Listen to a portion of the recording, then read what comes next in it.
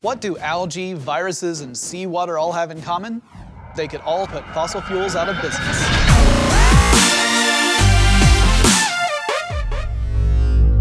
Two thousand ten. The United States goes through about 19 million barrels of oil per day. And now we'd all like to think that coal and oil are gonna last forever, but we have to face facts. Finite resources, smog, carbon emissions, climate change, we all know the reason why we should switch from fossil fuels to alternatives, and those reasons are getting more urgent as time goes on. But I've got some good news. It turns out necessity is one bad mother of invention. Now, the laws of physics tell us that energy can't be created or destroyed, so all the energy that's out there in the universe is what we have to work with. And there's something else we have to keep in mind energy has a backstory. So fuel cells, they burn clean. All you get is some water vapor and some heat, right? But if you use fossil fuels so that you can free up the hydrogen to put in your fuel cell, you haven't really fixed a problem. All you've done is, is hidden it. Pay no attention to the coal behind the curtain. Now, personally, I think the future of fuel isn't in fuel at all. It's in electricity. Vehicles like Toyota's RAV4 EV and the Prius charge their batteries on the same electric grid that we use to power our toaster. So now the question is how do we make clean, sustainable electricity? Now, I'm not gonna bore you with things like solar panels and wind turbines. Those are amazing technologies and I'm really happy we have them, but we've already heard so much about it. And besides which, almost all of our energy is solar energy. I mean, think about it. Oil itself is made up partially of compressed algae. Millions of years ago, algae made its energy through photosynthesis of sunlight. And wind, well, that's created through atmospheric pressure differentials when the sun heats the surface of the earth. So, if you're willing to track it back far enough, the sun is basically the only game in town. So, how does the sun make energy and, uh, can we get in on that? A star creates energy through nuclear fusion in a high-density gas furnace where hydrogen is forced to link up and become helium.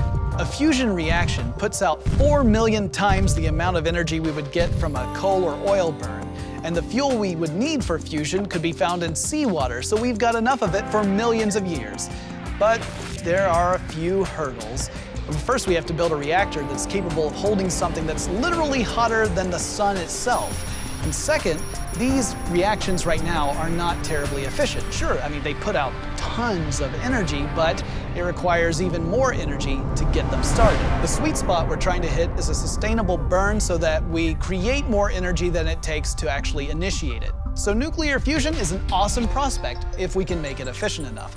But it's important not to put all of our energy eggs in one electro basket.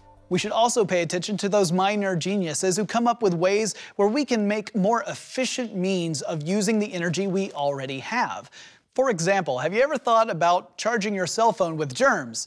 Now, I'm not saying you should go out there and sneeze on your cell phone because that's gross. No, I'm talking about piezoelectric generators. Scientists discovered in 2012 that by coating an electrode with germs that have this piezoelectric effect, they could generate electricity through compression. Now that might sound small potatoes to you, but think about this. If we put that stuff on surfaces that get impacted every day, like the soles of our shoes or sidewalks or, or under our floorboards, we could harness electricity every step we take. What about garbage? We just throw it away. What if we could use garbage as fuel? Plasma waste converters do just that. And let's not ignore biofuels. In March 2013, a high school student from Colorado won the Intel Science Talent Search by breeding algae that would actually create gobs of oily biofuel. I mean, how cool is that?